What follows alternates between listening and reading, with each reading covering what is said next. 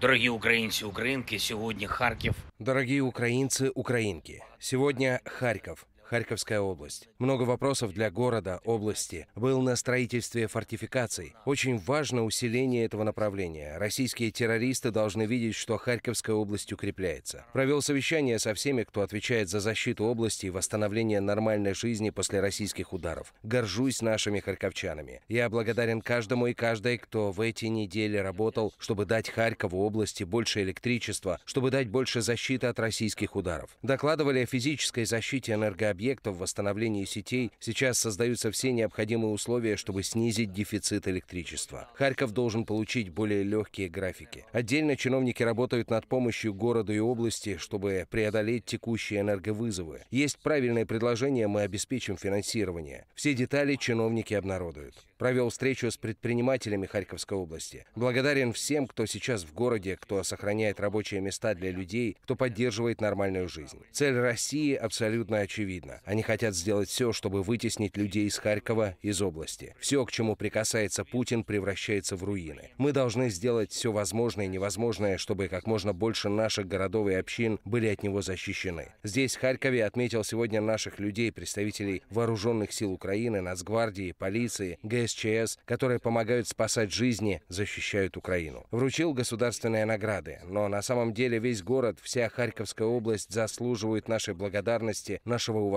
как и каждая украинская община, каждый наш человек, который не подчиняется врагу и делает все, чтобы сохранить жизни. И все наши партнеры в мире должны знать, что доверие к ним и будущее демократического свободного мира можно получить именно сейчас, и именно в таких городах, как наш Харьков, как Запорожье, как Херсон, как многие города Сумской области, Донецкой, как Николаев, как города Черниговской, Днепропетровской областей, везде, где нужно ПВО, везде, где нуждается в политической воле мира, решениях, чтобы жить, чтобы победить российский террор. Есть и наши решения по усилению ПВО здесь, в Харькове. Жизнь должна выигрывать. Я благодарю всех в мире, кто это понимает. Благодарю всех наших людей, которые придают Украине силы. Благодарю тебя, Харьков. Слава Украине! Слава Україні!